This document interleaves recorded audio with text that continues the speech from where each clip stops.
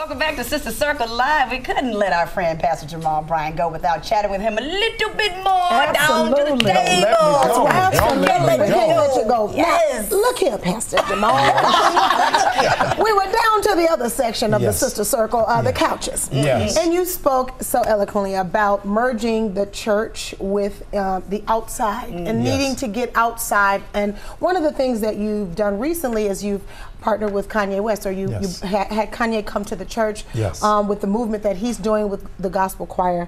Um, we see you doing a lot of work at New Birth that is kind of uh, outside of the box. Yes. Um, what what I want to know is how did this come about? But moreover, how do you deal with the backlash behind it? There's been a lot of backlash from the collection plate going around too many times Yes. and, and letting him Kanye speak up there on the pulpit. pulpit. You know, I know you heard it. So Oh, yeah. when you make this conscious decision to, to have this type of connection, Yes. what are some of the things that you um, are apprehensive about, and how do you deal with it? Yeah, I, I think that the gospel is supposed to be risky. Yes. Uh, that if it's safe, God's not in it. Hello, somebody. Uh, so Kanye called us with a four day notice and said, Can I come? Can you come? I will meet you there. Mm. Right. Uh, so I opened it up, and most of the people uh, who were critical of it Mm-hmm. go to a church. So I wasn't looking for them. Mm. Uh, it was the largest number of young adults I've had at that church Mm. to the extent that I had 500 people waiting in line at 6:30 in the morning. Wow. Uh, so, however it is, I got to get them in church is wonderful. Look at God. And to those who couldn't see the vision, 156 millennials got saved that day. Wow. Uh, and so, when, when all of the smoke clears, uh, it's worth it all. Everybody has got to go back into what is their priority. So we got backlash from influential artists in Atlanta about a second offering. Yeah. Mhm. And the, the hypocrisy for me is that they bemoan that when just coming from a strip club. Oh, wait a minute. Uh, and so you have no Don't issue. step on nobody's I gotta get toes. on that. and what you do with your money is fine, but you can't uh, besmirch those who are really doing community development and engagement against those who are coming down a pole. Right. Uh, and so I'm just coming back from uh, the Bahamas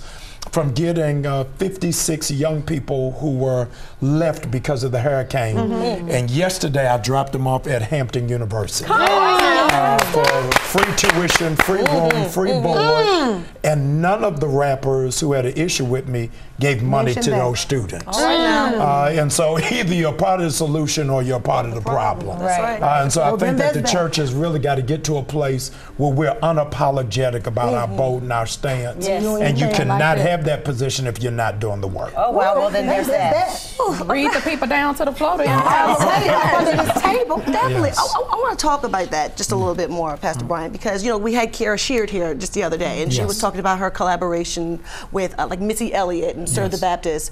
Tell me, what can we do, especially when we have those traditional church folks that kind of snicker and sneer down when they see this mergence of the gospel world and the secular world? Right. Mm-hmm. Tell me, why do you think that mergence is so important in this day and age? A, a few weeks ago, I played in church Frankie Beverly and Maze. Yes. Which, which song did you play? Come on now. Before I let go. Before I let go. Listen, so my old people started getting up, dancing, before they realized what was playing and where they were. So, so the people who have an issue, they know the music. Uh, and so let's not act as if we're in witness protection and we only listening to Mahalia Jackson and James Cleveland. Uh, we've got to have some level of balance. Uh, Jesus ate with sinners and publicans on and prostitutes and gangbangers, and the church has got to go back to doing that uh, because most of our churches are dying. Yes. Uh, this is the largest demographic of black people who don't go to church. Mm-hmm. Uh, Dick Gregory said to me some years ago that in the 60s, when Jesus, when black people were in trouble, they call on Jesus and the NAACP. And now here's a generation that doesn't call on either. Mm-hmm. Oh, right. Uh, and so now we've got to do something to make Jesus relevant Mm-hmm. to a generation that doesn't own him. Wow, wow. right now. You talked about Republicans, Democrats. You saw our, our campaign, Serve Yes. the Vote. I'm which is in going it. to be fantastic. Yes. What, do you, what does the church need to do to make sure that our folks are signed up, ready to go, and ready to make a change? I'm, I'm a baby of the NAACP. Yes, and. Medgar Evers put together a prong of three points voter education, registration, get out the vote.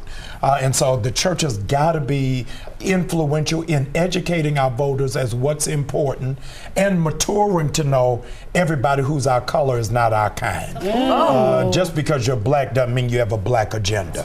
Uh, and so all of the issues that you all talked about circling education, that there's more student loan debt than there is credit is. card debt. Yes. When we talk about health care, that there's no universal health care for God, today. curable diseases that impact our community. my goodness, my goodness. Well, Pastor, your church recently partnered with Delta Yes. uh, for the efforts of relief for the Bahamas. Yes. How can uh, our audience get in on that and help? Yes, I've got to do two shout outs. Okay, go ahead One is it.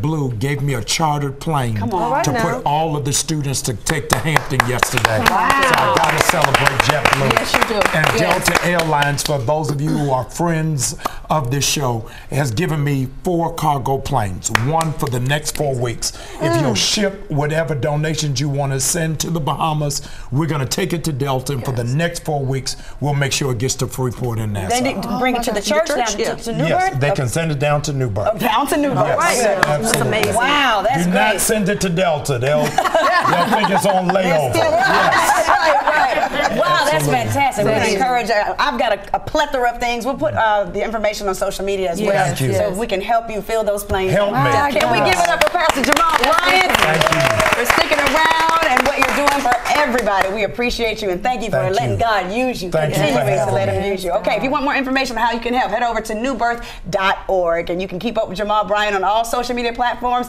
at Jamal H. Bryant. He's very active on Follow social him. media. Follow him.